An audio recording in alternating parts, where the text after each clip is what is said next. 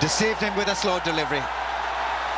Yunus Khan picks up a nice catch and Rana Naweed showing us why he's so important for Pakistan in the one-dayers. What a good change of pace. Well, this is one ball that will always trouble Runako Morton. He's just too stiff and very forceful in the way he bats. The change of pace will be a difficult ball for him. But he played his part.